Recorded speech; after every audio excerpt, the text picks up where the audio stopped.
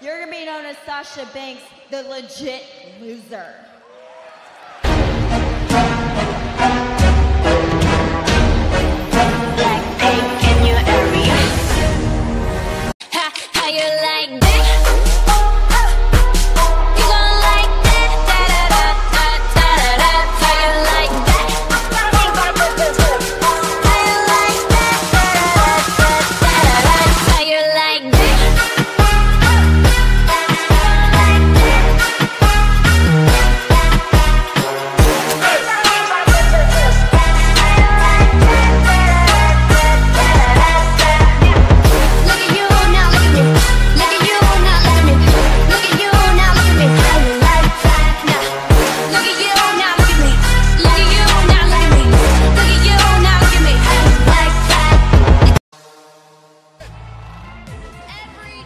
not just a champion.